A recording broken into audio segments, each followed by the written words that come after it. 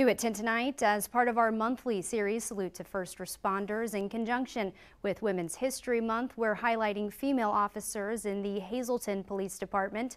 Fox 56's Alicia Hercules spoke with a few and tells us more about their experience in the police force. While the police force is often believed to be a male dominated industry, the women in law enforcement here at the Hazleton City Police Department are actively pushing against that narrative. We have females who are in detectives divisions, we have females who work first, second, and third shift, and we have more coming in. Only 13.3% of full time law enforcement officers are female, according to a study done by Statista.com. The Hazleton City Police Department now has at least two female officers working per shift.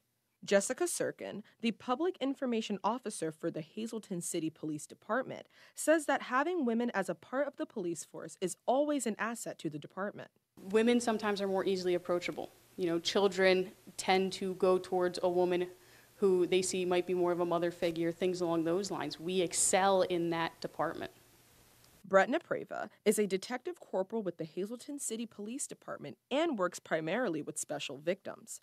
She says to join the force, you have to be passionate about it and whatever challenges it may bring. I think that being a police officer, you have to have some sort of internal calling, whether it's internal for calling from God or you know whatever whatever belief system that you have.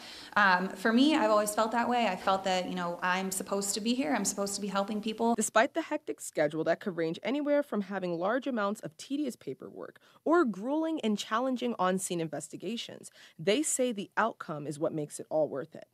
Our jobs are really important, and you know, especially doing what I do with special victims, that's something that it's it's extra rewarding, knowing that when you go home at the end of the day, that you've really made a difference. You saved that kid's life. You changed that child's life. The women in law enforcement that I spoke to here at the Hazleton City Police Department hope to continue to inspire women to join the police force. Reporting from Hazleton and Luzerne County, I'm Alicia Hercules with Fox 56 News, first at 10. If you know someone who should be highlighted for our next Salute to First Responders, send us an email at fox56 at sbgtv.com.